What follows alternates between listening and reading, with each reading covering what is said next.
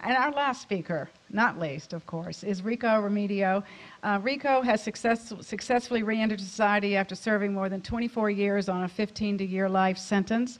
He was released on parole in July of 2005 and entered Walden House. Since then, he's uh, enrolled in San Francisco City College and is currently participating in an internship program with a nonprofit.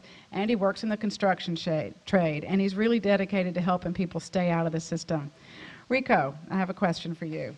Looking back on your experience as a parolee, what would have made your transition easier? And if you could sort of design an ideal reentry plan, what would it be?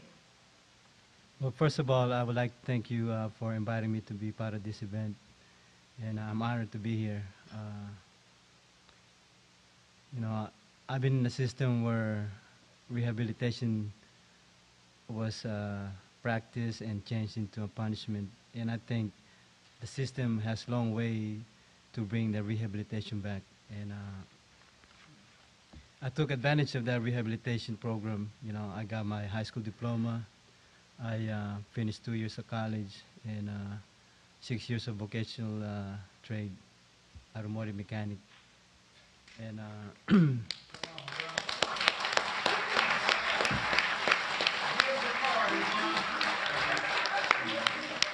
I've been given, uh, uh, I've been found suitable for parole three times. The third time I was let go. And uh, when I knew what, when I was getting out, you know, I kept, you know, questioning myself, you know, what I'm to do out here. And uh, I convinced myself that to give back. It's time to give back to the community.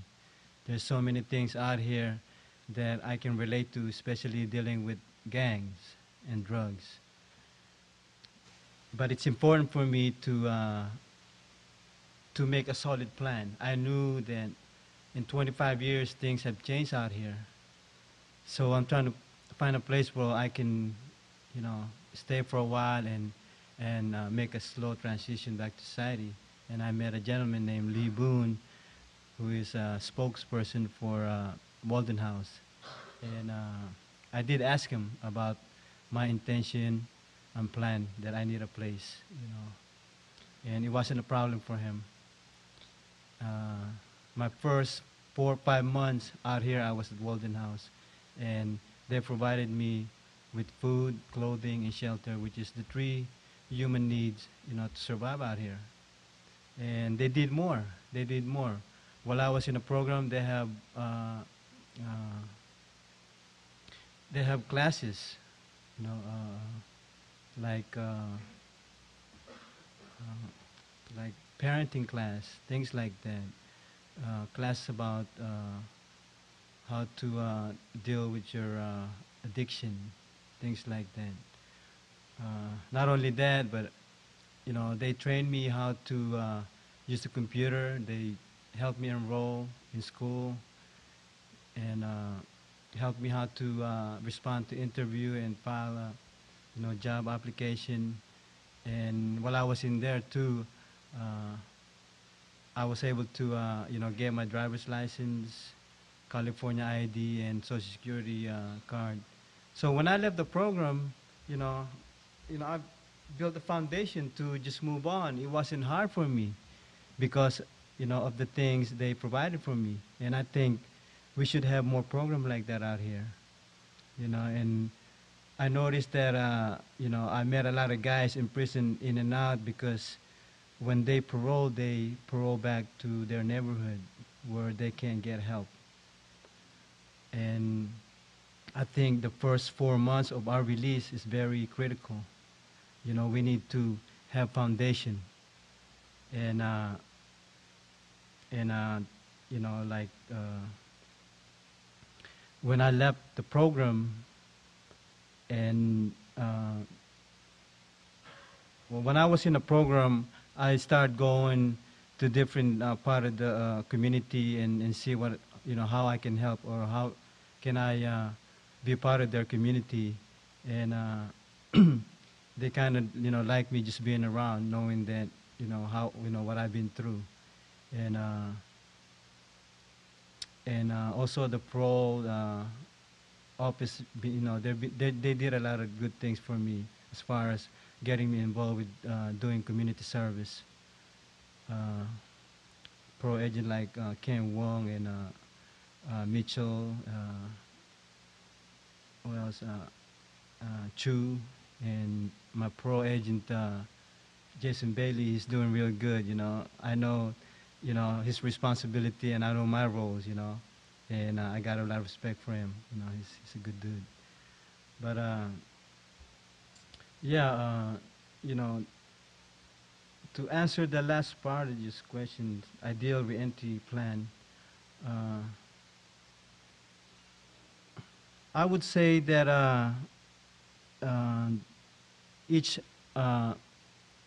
prisoners who are getting ready to go out should have an access to get into the transitional uh, housing program because uh, you know they got what we need you know to start our life out here.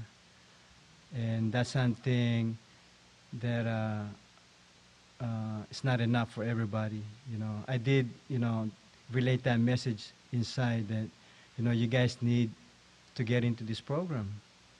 And the problem is, uh, I think our pro uh, office does not have enough money to provide uh, for the expense because it costs money to be in a program. You know, I was just very fortunate that Centerpoint program, you know, paid for my stays in there, and uh, you know, it was good. And uh, and another thing, uh, you know, if we really wanna uh, reduce the recidivism, and since it's going to take a long time for the CDC to uh, bring rehabilitation back. I think we really need to get involved. You know, people out here in the community need to actually go inside and minister to to the prisoners, and that's how I turn my lives around. You know, and uh, you know, I you know even though I have this education and vocational trade that you know I can be okay out here. You know, I, I had no hope, and uh, I have nothing but animosity against people out here. You know, I had this, you know, belief that, man, you know, I'm just a reject of society. You know, nobody wants me, nobody gonna respect me. But that was proven wrong when uh, I met a whole bunch of people. Uh, you know, this is these people are uh, former lawyer, doctors, judge, law enforcement, who bring uh, love inside the prison, and these people represent the community. You know, when I look at these people and realize what they've done to me, you know, like they represent everybody here. So when I got out and looked at each person, I remember those people. You know, I, I have nothing but love and respect for them. So if we are really serious about helping prisoners and promote uh, safety, public safety, we need to get involved. We need to get involved. That's all I had to say. Thank you.